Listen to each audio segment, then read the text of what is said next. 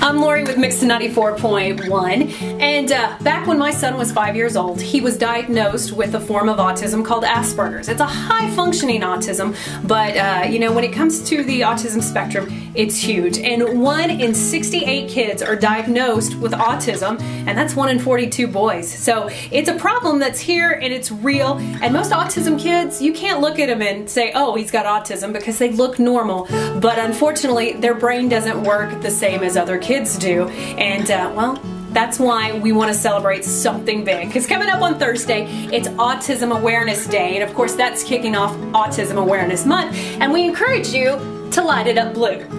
Grab one of these light bulbs. You can get it at any of your hardware stores. You can get them at Walmart. That's where I got mine.